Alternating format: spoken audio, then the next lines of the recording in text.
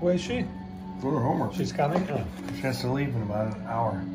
For what? Oh, for her She has practice. practice. So these are, that's the baby. Yeah, can't you tell now? Yeah. Now you can tell. Yeah, I can say now. Now I recognize the baby. I still don't know the name of So if this. we turn them over. Spare. Spare.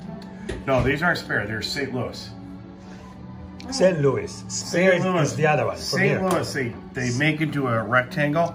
Spare is like a huge. Oh.